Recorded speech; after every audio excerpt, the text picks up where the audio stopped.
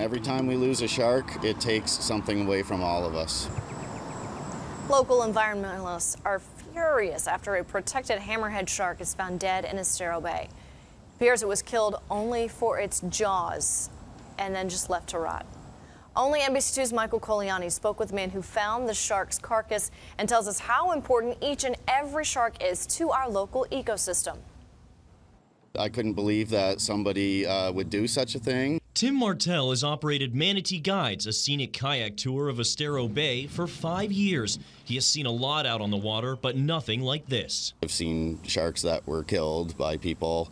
I've seen uh, rays that were killed by people, but uh, I must say that the one that uh, we found today with this hammerhead shark is the worst of them all. The four and a half foot scalloped hammerhead appears to have been killed exclusively for its jaws. Shark jaws are a coveted souvenir and can even haul in big money on the black market.